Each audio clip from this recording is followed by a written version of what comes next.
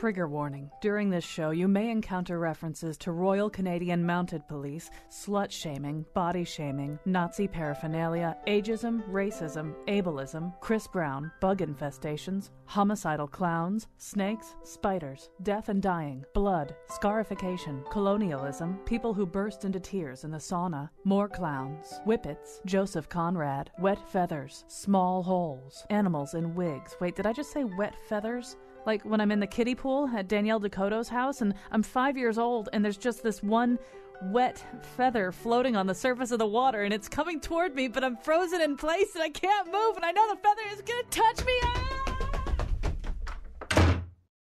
Uh, anyway, we hope you enjoyed today's show. And now, oh, wait, he's under the desk. You can come out now. There won't be animals in wigs. That was just boilerplate from the legal department. Colin McEnroe. You promise? You promise there won't be animals in wigs? Because she mentioned it. She mentioned it in the trigger warnings. I heard her say that. Animals in wigs. I can't see that. All right, we are going to talk about trigger warnings today, perhaps a little bit more seriously than that. Um, and first of all, let me tell you all about the nose. All about the nose. Uh, first of all, uh, I'll tell you who's here. Uh, author uh, Susan Campbell. When is your uh, Isabella uh, Beach It's out. It's out? It's, you can have one. Why don't I have a complimentary copy? I'm going to make you pay twice. expected to pay, bust out retail for this? Pretty much more All than right. retail. Uh, author of a, a brand new biography of Isabella Beecher Hooker uh, is uh, Susan Campbell uh, from Trinity College, Luis Figueroa from uh, the world of music uh, in his own domain, and the Shinolas, and so many other things. Jim Chapdelaine. That's who, who's here with us. A little later in the show, we are going to talk about. Um, and it kind of links up a little bit to the first part, sort of. Uh, the the strange odyssey uh, of a young woman at Duke who has, has been sort of outed as as uh, a person who's making expenses meet in the difficult world of paying for college by uh, performing in porn. And this turns out to be not an isolated ca- isolated case. There are other people uh, doing that as well. Uh, she's making the argument that it's not only makes practical sense, but uh, it's actually a feminist choice. So we'll talk about that. We'll also talk towards the end about Fred Phelps. You know him from Westboro Baptist Church. Susan wrote about him many times, uh, and uh, he is dead now. And he's not having a funeral, which is sort of ironic because he picketed and led picketing of so many funerals. Uh, but we'll sort of talk about you know how what's the civilized way to bid farewell to Fred Phelps and what kind of uh, place he occupied in our minds. And then towards the end of the show, we'll of course have endorsements. But we are going to start out with the topic of trigger warnings. Now, trigger warnings. Probably the first trigger warnings came not in any of the contexts that we're going to mention today. I think they came. Remember those '50s monster movies where they gleefully told the audiences that the content of the film they were about to watch could be dangerous if you had heart problems or nervous problems or something like that. Maybe you better just run out, out of the theater right now. But in a more contemporary context, they started out, we think, on blogs, specifically feminist blogs, where you know, not unreasonably, people were warned. Well, you know, if you if if if any kind of conversation about, say, rape sets you off, and be prepared, be aware uh, that that's going to be in this article. We don't want to trigger anything. It, it, kind of expanded from there. It's moved over into mainstream media. From mainstream media, it's moved over into the world of academia, where there are now debates on campuses about whether or not syllabi uh, should should contain warnings, and not just about sort of the typical things. I mean, some of the things in the intro uh, are not that far flung. Uh, trigger warnings have been applied to, we are told, topics as diverse as sex, pregnancy, addiction, bullying, suicide, sizeism, ableism, homophobia, transphobia, slut shaming, victim blaming, alcohol, blood, insects, small holes, and yes, animals in wigs. So, um, uh, and so the question is: Is this going too far, and is it restricting our ability to, to think clearly about things? And uh, it's been proposed, for example, at Rutgers, that uh, teaching Mrs. Dalloway should be accompanied by a warning about uh, suicidal tendencies. The Great Gatsby uh, could be a trigger warning; should have a trigger warning for suicide, domestic abuse, graphic violence, etc. So, Luis, uh, you were the one who first introduced this to us. Uh, where were your thoughts going as you read about all this? I think you started with an article in the New Republic. Yes, um, I had never, I confess that before a few days ago, I had never heard about trigger warnings.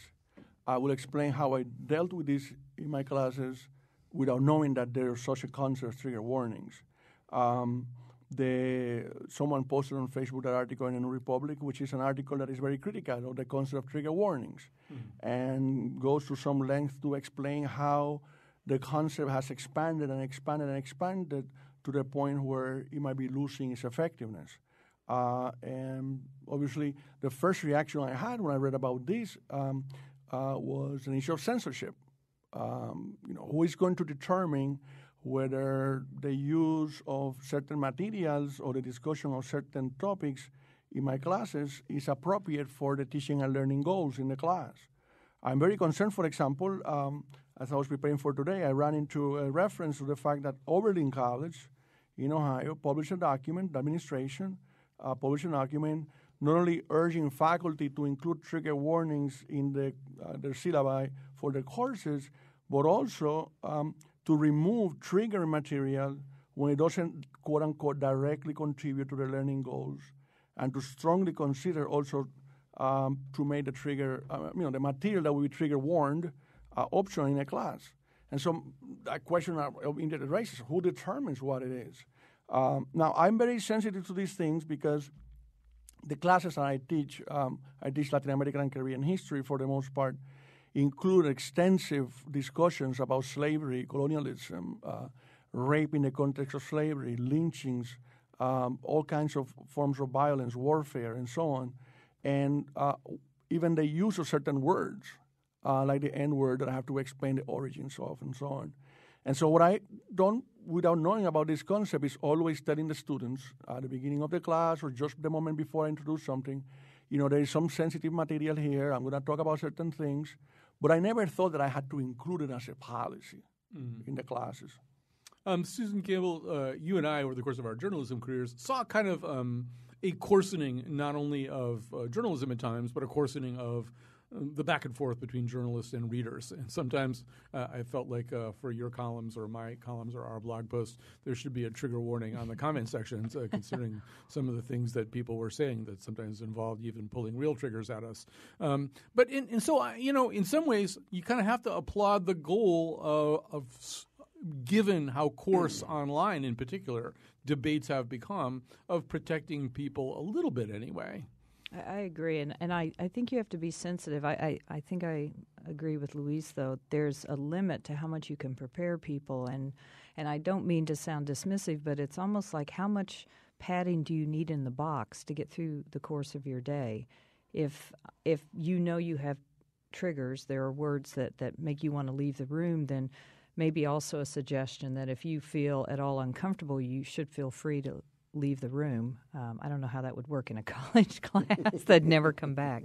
But I, as I said when we started talking about this, I'm on the fence about this. I think you can. I, I think you can try to make everything too perfect for people, and maybe they should be hearing some of these things.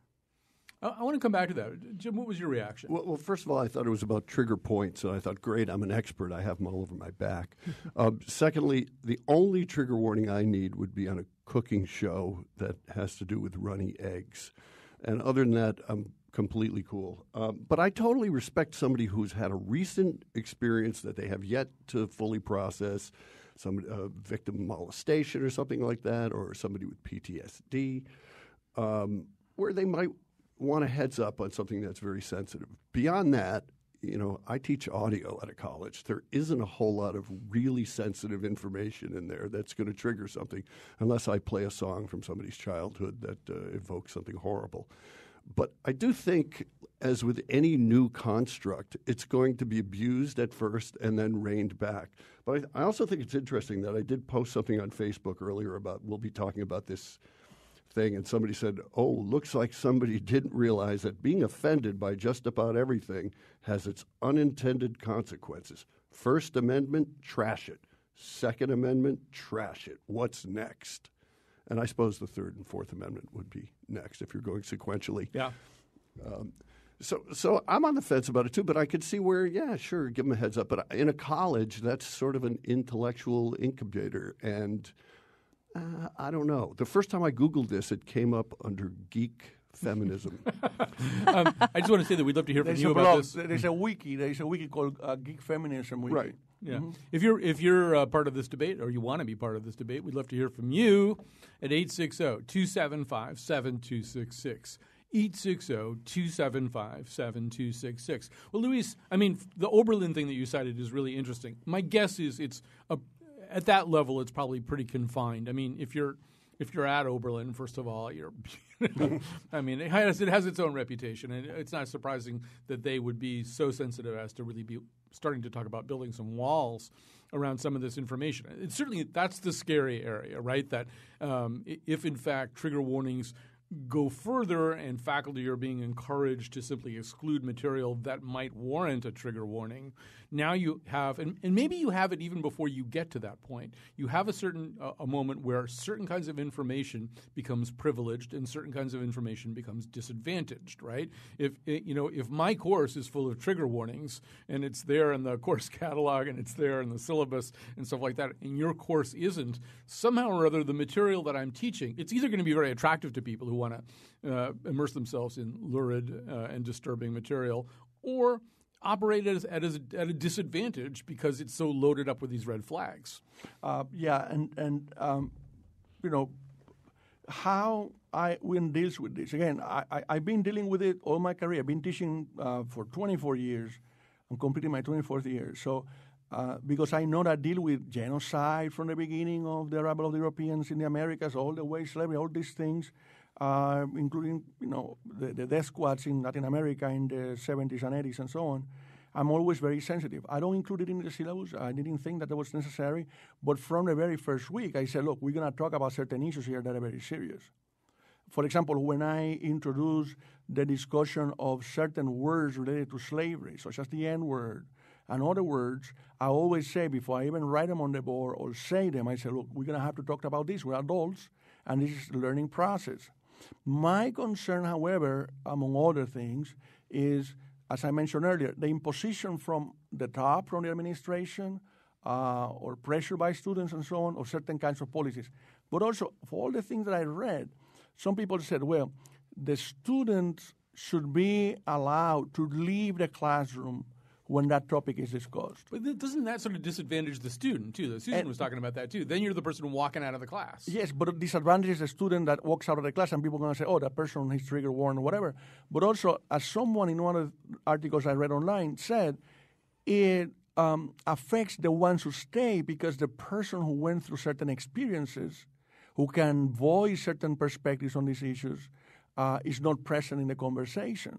So I think that the burden should be on the teacher or the professor to create a welcoming space uh, for these discussions. Um, now, I, I would admit the problem too is we have to evaluate people on the basis of the materials we, we produce, that we present to them. Uh, we cannot say, okay, this group of students cannot read these articles or these books or watch these films or I mean, it makes it very difficult. I think it's part of the learning process. Let me I just grab a quick call here from Liz, who's driving. I hope she's not. I hope, I hope your hands free right now, Liz, because I'd have to give you a trigger warning about driving uh, and talking on your cell phone. A written trigger warning. I, am free, and I actually just pulled over so that I can um, concentrate on speaking with you. Excellent. Now, uh, what have you got to say? I just would like to know when did the rest of the universe become the boss of me and my sensitivities? I, I'm a grown ass woman. I can take care of myself. I raise children who can take care of their own sensibilities. And like Susan said, you know, how much packing do you need in the box? Put your big girl underwear on and deal with it. All right, there's hey, two hey, trigger, underwear is a trigger two, yeah, thing two for me. trigger warnings there, absolutely for uh, underwear and grown ass women. You just sound like Susan Campbell throwing her voice to me. I'm not, Go Liz. I'm not, it's amazing that you do that without moving your lips. Thank actually, um, well, you know, look, let's go backwards. For, I mean, she makes a great point, which is she wants to be in charge, and she feels like she's not in charge if somebody's running around warning and and and culling and, and, and doing all this kind of stuff. Although I think you know you don't have to go that far back in time and and I'm looking at you because you also grew up in a different part of the country from me. But mm-hmm. you know, but I'm really old. I'm really old. So hey, hey. same age as Jim. So um, so I'm old enough to remember. I went to a boys' school where um, nobody worried about anybody's sensitivities ever. Right. Um, I had a teacher who was actually a very nice man, but he was a, a fairly old man at that time. He'd been in the Merchant Marine. He was teaching us Latin. Uh, sometimes when we come ac- across a particularly complicated, difficult to fathom Latin idiom, he would use the phrase uh, that includes the word woodpile, despite the fact that there were actually African American students in the class. He'd, so, he'd say, This is a real in a woodpile. And and nobody said anything. No one objected. And I mean, I, I look back on that with real horror. But I mean, that was a time when nobody's feelings were ever taken I don't even account. know this statement. I don't. E- oh, well, it's, a, it's, a, it's an I'll idiom. it It's a very unpleasant expression for something that's kind of hard to see. Okay. Um, and you know, but but it, it, it there was a time, and you don't have to go back that far, where nobody's feelings were ever taken into That's account. true, but th- there was also a time when you know if you had peanut allergies, good luck to you. Yeah, and I. so this is like the, the intellectual peanut allergy. Now, a, a part of also of this, I'm, I'm going to kind of shift positions here slightly, is that for the longest of time, like I, I hate to say it because the example that you gave, Colin, is a boys' school and a, a male professor. For the longest of time, uh, it was white men who were doing the teaching or doing the leading in society and so on. And so, in that universe, certain topics could be discussed in a particular kind of way. Hey, wait, hey, wait, Once- has that has that changed? well, well, no, no, partially. So once you began to include in this in the mix, going to college or in certain situations, women or minorities, racial minorities, and so on, certain issues become more complicated, and I'm very aware of that.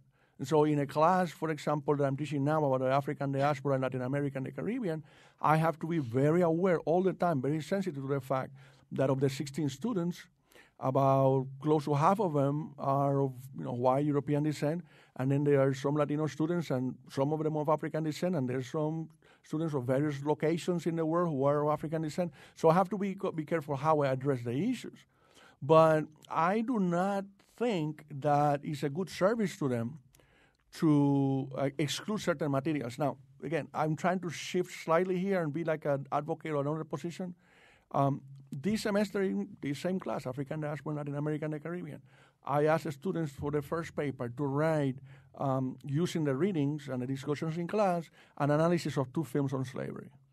In one of them, uh, a domestic female slave is raped several times by the master. Now I have to, uh, you know, take into consideration that who knows if any one of my students have gone through this experience of rape, and that is very sensitive. And I'm very cognizant of this, and I have to be very careful. So I always try to say, okay, we're gonna deal with this, and so on and so. on. If you wanna talk to me privately about whatever issue, yes. But I don't want to be in a situation where an administration is pressuring me to change what I teach. That's my concern. I don't think you can cover uh, animals with wigs. I, this is not something that would have come up on a list for me. Well, and I think here's the other thing. Um, uh, you know, Jim mentioned peanut uh, allergies, and I had the same thought. Uh, and I think it's a better world now. I mean, Diane Orson's uh, got a kid who's got severe peanut allergies. She wants people to know that if they're showing up at her house with a bunch of brownies or something. You know, I mean, it, that's good. It's a good. right. It's a good thing. We have a world where we're, we communicate better about stuff like that Sure. than we used to, and it's a good thing we live in a world where I think a teacher wouldn't be comfortable using an expression like that one. But to use another medical analogy, it, it also strikes me a little bit like um, antibacterial soap and antibiotics. You know, if you use that too much, your ability to cope with a normal bacterial environment starts to deteriorate a little bit, right? I mean, the more protected you are, uh, paradoxically, you know, the more vulnerable you are. And, I wonder about that too. And I'm going to frame it, Susan, specifically at you because you and I have like uh, have another experience in common. Uh, I was circulating around some links about um, stuff this weekend, including the reopening of the so-called Freedom Tower or the World Trade Center. Um, you were at Ground Zero a lot longer than I was, um, but we were both at Ground Zero during 2001. I wound up with a little. I don't know what ha- what, what happened with you. I wound up with a little case of PTSD from 9/11, and it took me a little while to get over it too. And I I really am kind of dreading the reopening, mm-hmm. you know, which will come this mm-hmm. year, and I it will probably trigger things in me. Although I basically feel like that's kind of my journey, and it's going to be. It's going to be whatever it is. I'm just going to have to deal with it. But you know, I, but I sort of get why somebody. I get the whole idea of a trigger anyway. Sure, but you are aware of your trigger, and you also know that you're not going to have them stop construction there because it bothers you. It reminds you of some very painful event from 2000. Well, I, I wrote them five letters and they didn't They seem didn't to be paying answer. attention Well, to me. No. Gosh, it's not fair. But you, um, yeah, I, I, I had a hard time for a long time watching the towers come down, and I would show something in my class and say, "Where were you?" And we talked about the media construct that followed, and I would have to just sort of bite the inside of my face because that that's bothersome. But I can't not show that video in my classes because it bothers me. And I, I always talk about, and to Luis's point, I am very aware when I talk in my media class that not everyone came from the same religious background, not everyone came from the same socioeconomic level. Um, and that makes me more sensitive, but I would never want to tell the students that they also have to let us know about trigger warnings because the conversation will stop and go into a corner and die. You, you know, there's another medical thing that would, would be analogous to this too. Is people who have had uh, certain illnesses have to be periodically retested for those, get scans. We call it scanxiety, and and so you can't, you know, you that, that that's going to be a trigger for you, but it's in your best interest to go through with this experience. So to remove those scans from your future is significantly um, diminishing your prospect of having a future. Let's uh, grab a call from MD in West Hartford. Hi, you're on the air. Hey, how you doing? All right. Uh, my question is very simple. Does trigger warnings enable avoidance? Well, I, think that's sort of what we're talking about here a little bit. I mean, you know, I think as everybody here is saying, it's it's a balancing act, right? It's it's Pretty much, it's yeah. not one thing or another, and and all of us make d- sort of trigger warning decisions. Like I still haven't seen Django Unchained because I just I sort of have weighed the pluses and the minuses, and I've thought, I just don't think I'm going to get enough out of this movie to warrant what I'm pretty sure I know is in the movie. So we do that all the time, and we we do avoid. Why shouldn't we avoid things? Yeah, I delayed watching 12 that- Years a Slave for these reasons. And that doesn't diminish anything by avoiding something like that. What what it what is dangerous is if you avoid a peanut allergy warning or something and you have that allergy. So Yeah. so that somewhere in there is this line. You don't miss anything by not seeing Django Unchained. Well, you miss a, a horrible revenge fantasy, but uh, uh, it- you're not putting anything in danger. You're not going to have a sleepless night by missing that. So you've chosen to avoid that for a reason. Whereas I insisted on going seeing Twelve Years a Slave because I, even though I knew it was going to be hard, I also thought, you know what? I, I just I trust Steve McQueen. I mean, I think Quentin Tarantino is kind of a moron. So um, I thought, why should I subject myself to Quentin Tarantino's weird fantasies and just uh, based on any kind of lesson I might pull out of it? But I was pretty sure Twelve Years a Slave would really inform me. Did you see the um, commentary? It was a, a conservative commentator, and he was angry because he thought that slavery was presented in too negative a light.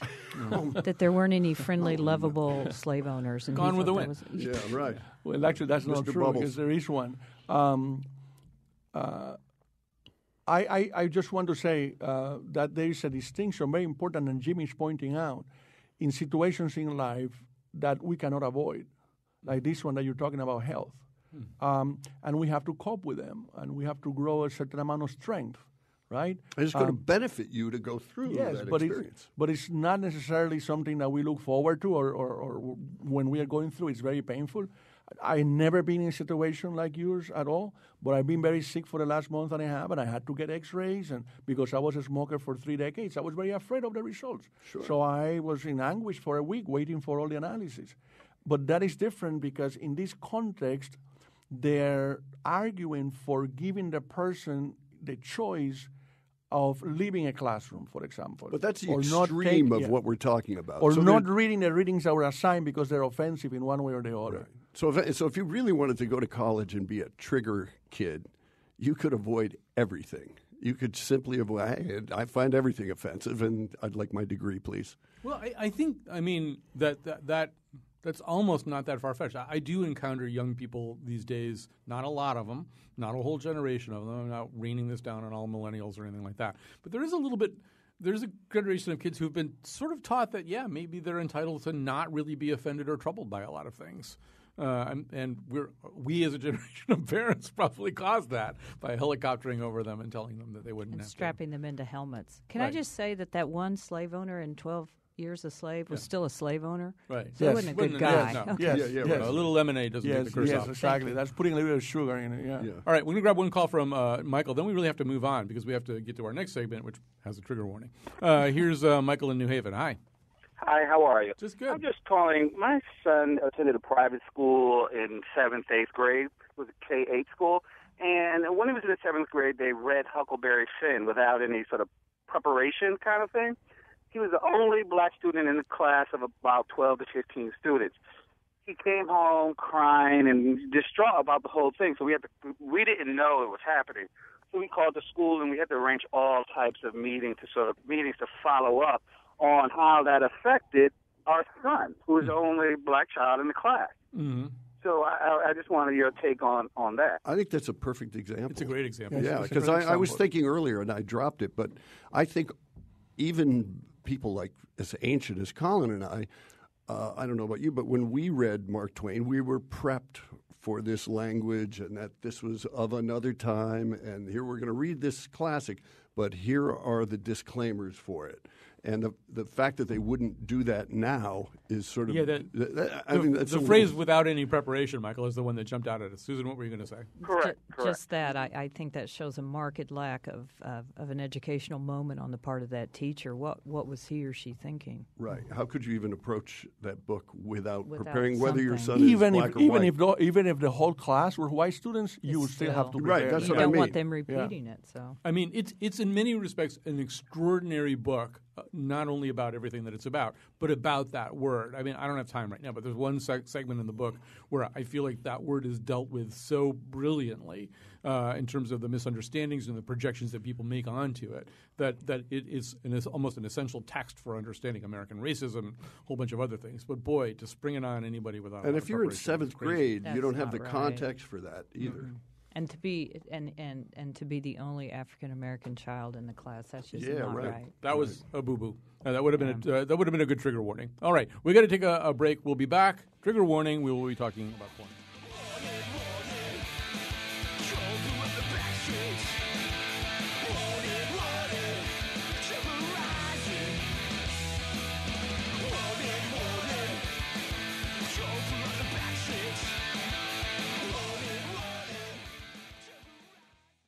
All right, uh, a young woman who goes to Duke University, and yes, there is a trigger warning here. A young woman who goes to Duke University, she's a, a fresh woman, a freshman, uh, is having a very interesting uh, period of time. She's kind of been outed by another student as uh, uh, as somebody who works in porn, uh, and she's been now writing about it and talking about it. She goes by the name Belle Knox uh, in her porn life. Uh, I don't think she's quite uh, that uh, out about her actual real identity. She's talked about it in a lot of different ways, uh, and she um, absolutely does consider it to be at times a feminist choice.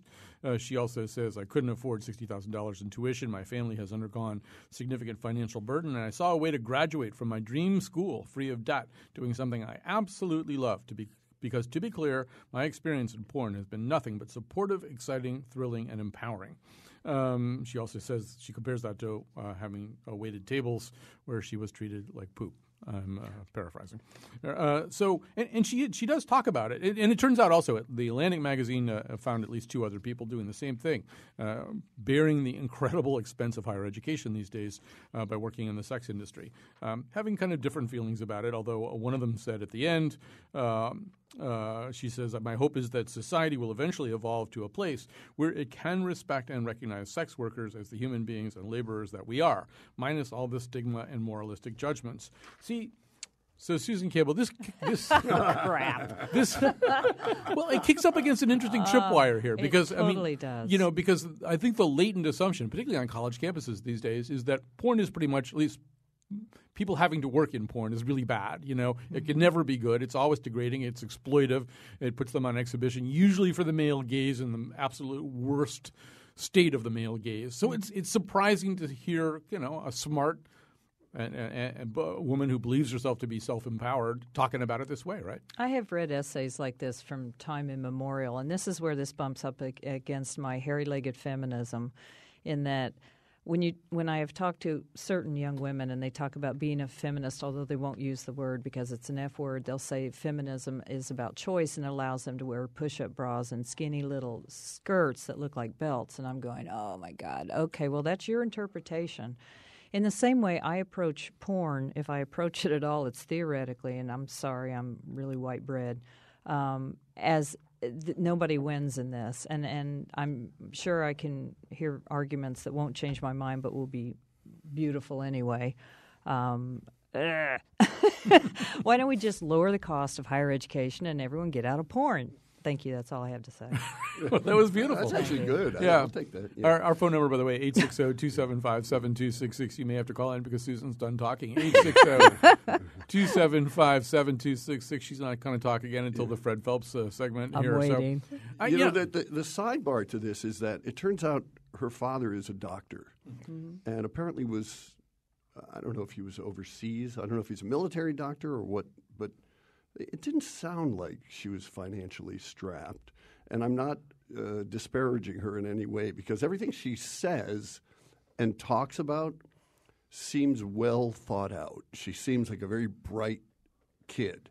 And, and I emphasize the word kid because I, I was curious, curious enough about it that in the interest of research, I went and took a quick look at a clip, and she looks like she's 12, and I was horrified.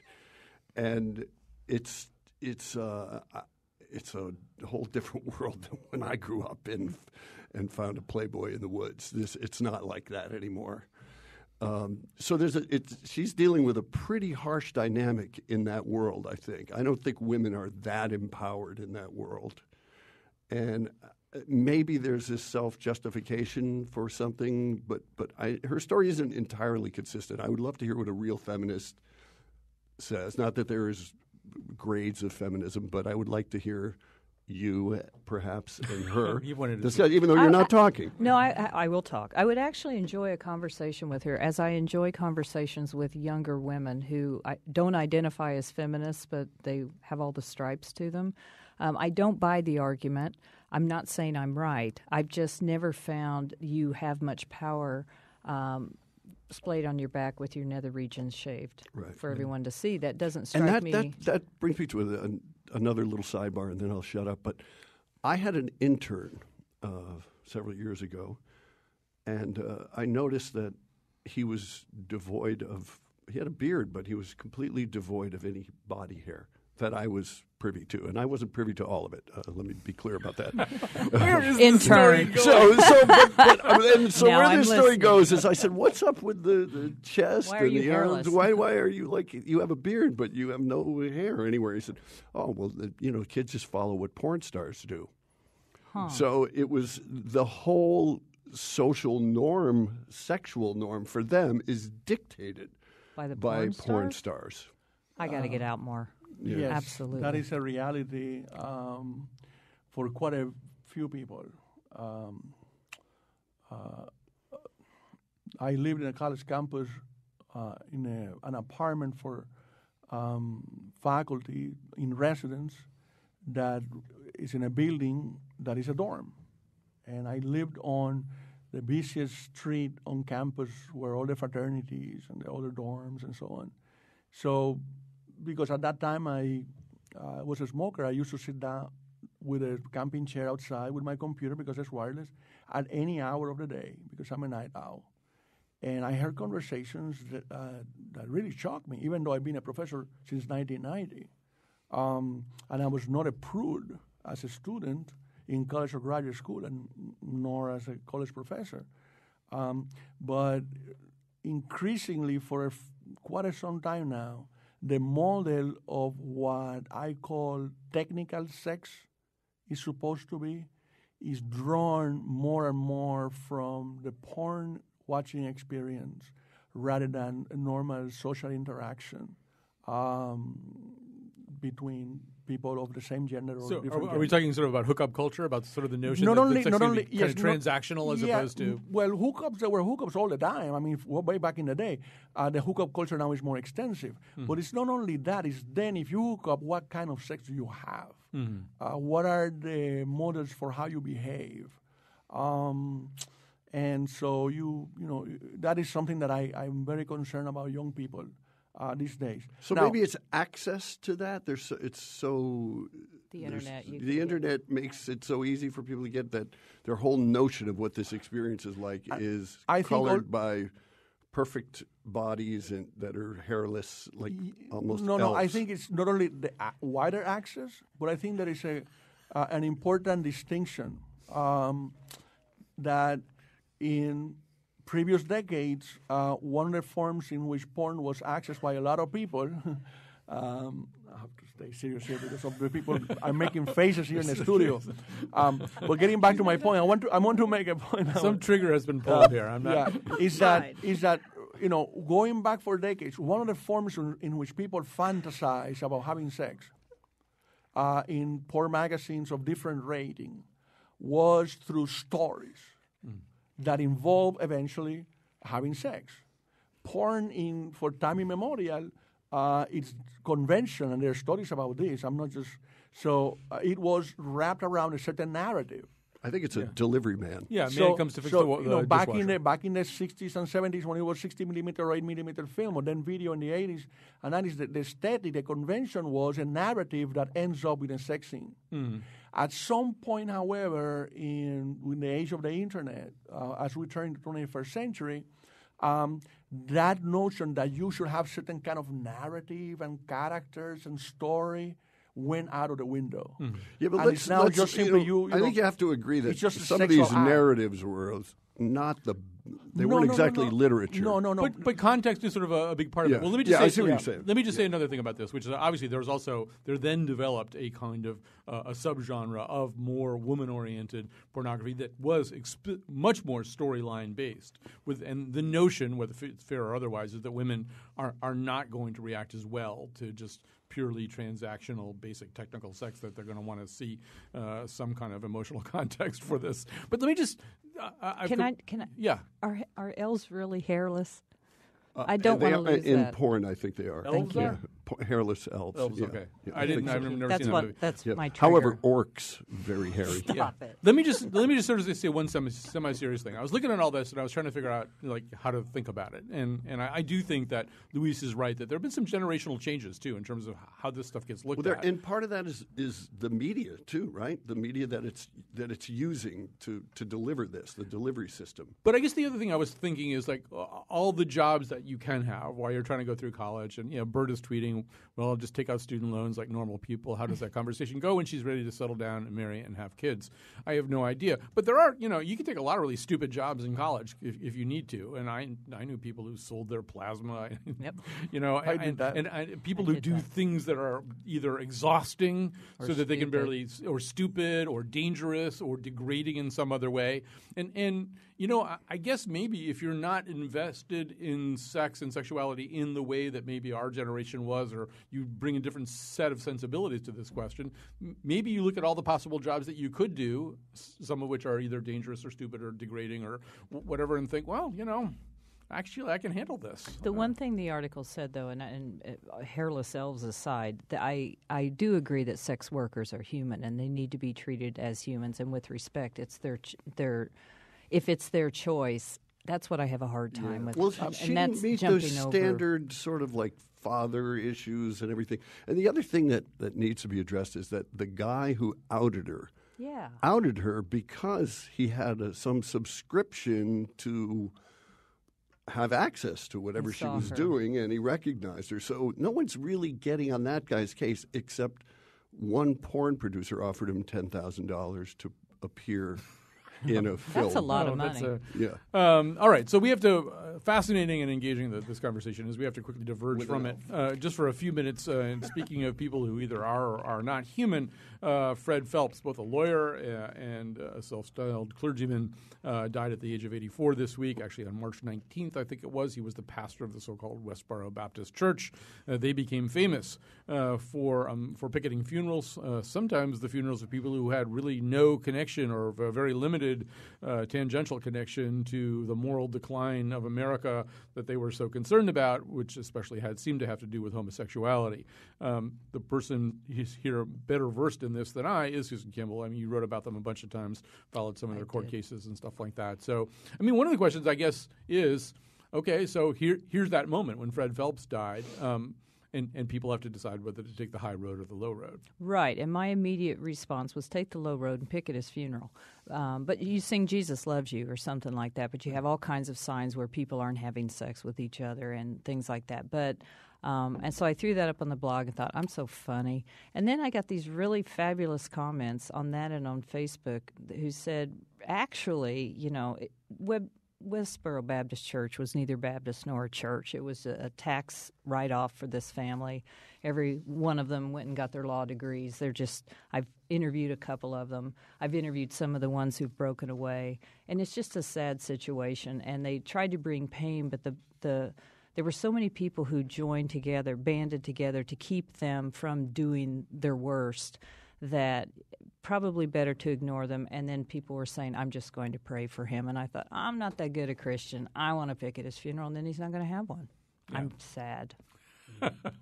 Well, uh, yeah, um, go ahead. I, I, I didn't know he was a lawyer. I mean, oh God, yeah, uh, he uh, civil rights lawyer, very successful. Took some fabulous cases. His really? his daughter Shirley, who I have talked to, she's also a fabulous lawyer. That's how they make their money. That kind of blows my mind. Yeah. I, now I, am not going to say anything would, for the rest of the I would show. say that I, I, you know, I barely remember the story of the lawsuit and so on, and and so I decided, okay, let me do some research about this. And I, you know, I read that this was the Westboro Baptist Church. Now I Googled Westboro Baptist Church, and it turns out, trigger warning here for language, that um, the, the, the website is www. God, God hates, hates fags. Yeah. And yeah. I was like, oh, and then I began to read through it. And on one level, my reaction was, this is as close as it gets to be the Ku Klux Klan for homophobia without burning crosses or lynching people. They did. I worse. They did. They did worse. Their burning crosses was I mean, to picket.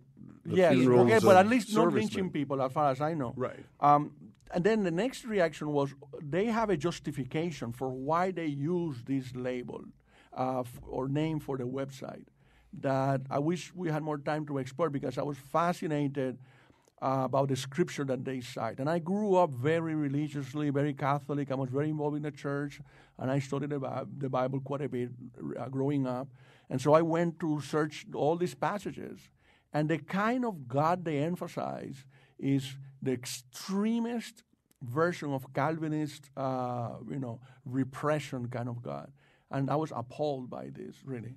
Well, you know, Susan, I, I wanted to bring up another thing too, which is, I mean, there's sort of two ways to look at a guy like Fred Phelps. One of them is he's sort of a useful bigot. Uh, he, uh, you know, he's mm-hmm. each side can kind of point to him in a certain way and make distinctions be- between themselves and him. Um, and and but in some ways, I guess one of the ways that I find him useful or found him useful is that uh, I almost prefer his out and out hostility towards gays to the people who are antipathetic towards gays and antipathetic towards the ambitions of gays to live as equals in our society who say, "Oh well, I mean, I, I but I don't hate homosexuals and but they uh, shouldn't God, get married. Yeah, God and God doesn't hate homosexuals either, but he, you know, blah, blah, blah, the Joel Osteen types. yeah, and I'm thinking, well, yeah, you, you kind of do, really. He picked a side, yeah. But the, I kept hoping that the family would at some point have this huge demonstration and say, "Psych! It was all street theater. God loves everyone," and then we could all go, "Oh my God, you ha- you had us!" And yeah. no, but it never happened. All right, we got to take a little break here. Come back. Have time for endorsements coming back. If I think my life was wasted, then my last days will be rough. But if Westboro pickets, then I'll know I've done enough. Oh, Reverend Phelps, oh, Reverend Phelps, I'll send you a recording if it helps. There's not much I know for certain, but one thing's well understood. If your church is against it, then it's good.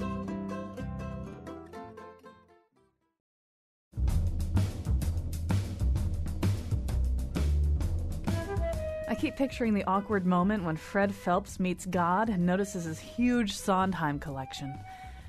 Today's show was produced by Betsy Kaplan and me. Our interns are Jane Ashley and Skylar Magnoli. The part of Bill Curry was played by Dirk Diggler. Catie Talarski is our executive producer. Congratulations to our tweetmaster Greg Hill on the birth of his daughter, Georgia Betsy Cayone Hill. For show pages, articles, and photos of the Faith Middleton Show staff, trigger warning, dressed up in Renaissance fair costumes and smearing each other with butterscotch pudding. Hey, my mom works on that show. Maria, hey, yeah, your mom, Lori Mack, is just one of the best in the business. Can I see the photos? Okay, visit our website, WNPR.org.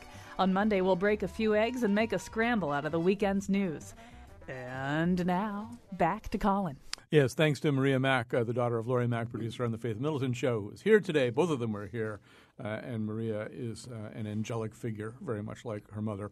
Uh, so thanks for helping us out with the with the thank yous. All right, time uh, to do some endorsements here. Uh, let's start over with Jim Chapdelaine. What have you got for us? pretty lame. I'm pretty lame with the endorsements this week, but uh, is Monday night at the main pub, seven o'clock. We'll have you home by ten. And in an attempt to recover from seeing the movie Cloud Atlas, um, my friend Chris Collingwood said, if you read the book, it, it will save you. It will, it will, you'll get that part of your life back. So uh, I have started reading the book, and it is pretty good so far. Is it good? Okay. Yeah. Recommended by you and Chris Collingwood of Fountains of Wayne. And when are the Shinolas, Jim's great band, he just went speeding past that. Uh, but his great band, where, when and where are they playing? Uh, this Monday at the main pub, 7 In p.m. Manchester? Yeah. In Manchester, yeah. right, we all just played with the, the great Danny Kootch last Friday. What time? 7 p.m. All right. Home by 10 is our motto. This is Connecticut after all. Susan, what have you got? Uh, two things. One is a shameless self promotion. Um, I'm endorsing the fabulous new book, this uh, Tempest Tossed, The Spirit of Isabella Beecher, Hooker, soon to be a major motion picture. That's a lie. Um, and Hairless Elves.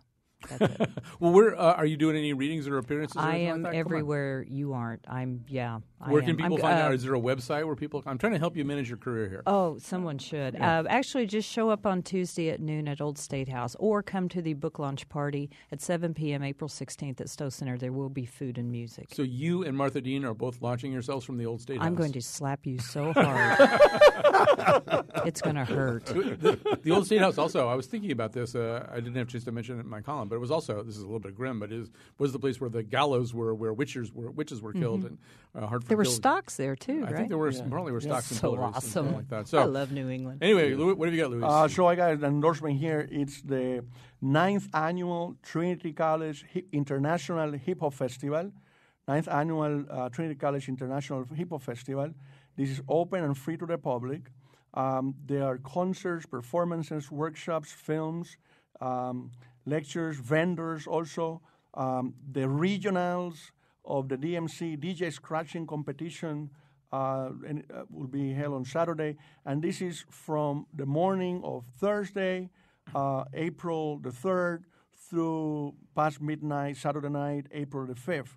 Again, this is the ninth annual uh, Trinity College International Hip Hop Festival.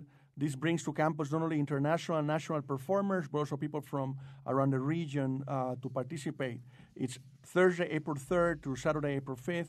For more information, please go to either one of these two places the website trinityhiphop.com, trinityhiphop.com, or the Trinity Hip Hop Festival page on Facebook. Excellent. I want to before I endorse. Uh, I want to quickly um, say, uh, uh, just read a tweet here. Uh, we're talking about uh, uh, the death of Fred Phelps, and uh, Larry tweets: "In the words of Mobs, uh, in the words of Moms Mabley, they say you shouldn't say nothing about the dead unless it's good. He's dead. Good. uh, it's kind of hard to top that. Uh, I would just quickly recommend the poem uh, "Elimination Dance" by Michael Ondaatje. Uh, it's actually Elimin- "Elimination Dance and Intermission" by Michael Ondaatje. You can find the entirety of it on the web, and it's been set to music and stuff like that. And I just, um, I I think I'm mentioning it because every time I have to come up with uh, an intro like the one we had today that sort of mentions a lot of different things, I always think of. I'll go back to it because it's it, and the the premise of the poem. Let me qu- quickly say is it's based on those dances where uh, where um, people are asked to sit down if they fit a certain description. Anybody wearing blue or something like that, sit down. And uh, I guess uh, Ondaatje comes from a, a culture where, where those dances are done. But his, you know, his uh, suggestions to people who have those who are allergic to the sea, those who have resisted depravity, men who shave off beards in stages, pausing to take photographs. It's sort of those kinds of things. It's a wonderful, very funny, and very exotic poem. I also want to quickly endorse the actor Walton, Walton Goggins, who's uh, performing right now on the show Justified. I watch way too much television, but uh, Boyd Crowder is Man. giving a per- you, you, he is giving a performance. uh, he is a marvelous, marvelous guy as Boyd. Walton Goggins. Uh, check him out. All right. Thanks to this wonderful panel. It was a great nose. We'll see you next week. Hey, Fred, welcome to heaven. It's a big gay dance party up here. Finally, you can dance with any guy you want. Good evening, godless sodomites. Still making jokes. See, I know you don't hate gay people. That was just a big. Big fat lie. Right, because what does God hate? God hates toast. Exactly. Levita KitchenAid 316. Let's dance.